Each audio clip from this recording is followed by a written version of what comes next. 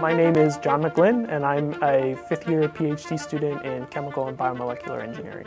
The research problem is basically we're interested in a wound healing application where we encapsulate stem cells into a hydrogel material, which has applications to be implanted and things like that.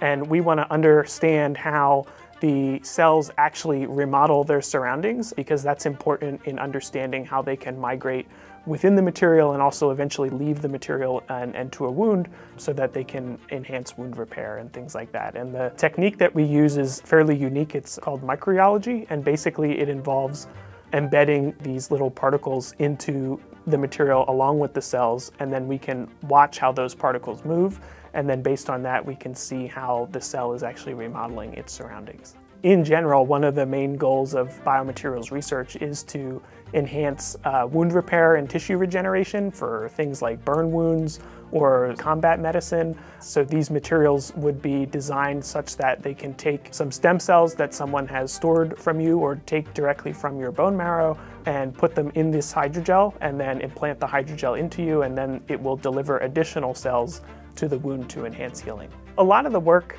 in lab, it's sort of like walking around in the dark until you grab onto something and then you sort of know where you're at. We put two differently sized particles in the material and we were finding that the larger ones were more mobile than the smaller ones and that's not really to be expected, right? Because the smaller ones can move around structure more easily. And so really digging into that problem and trying different things to figure out why that might be the case.